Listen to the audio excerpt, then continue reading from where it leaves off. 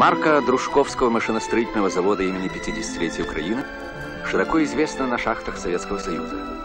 В 1968 году группа инженеров предприятия во главе с главным конструктором Владимиром Алексеевичем Наумкиным была удостоена государственной премии за разработку и внедрение угольного комплекса КМ-87.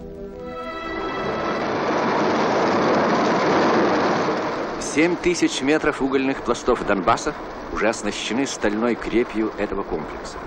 КМ-87 работает в 110 лавах, обеспечивая безопасность и облегчая труд шахтеров.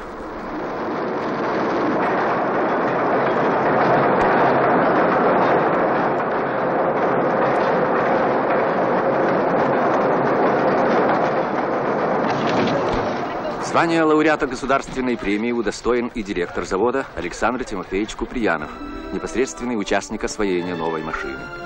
Угольные комплексы с маркой «Сделано в СССР» поступают сейчас во многие страны. Высокое качество продукции завода неоднократно отмечалось дипломами и медалями международных выставок.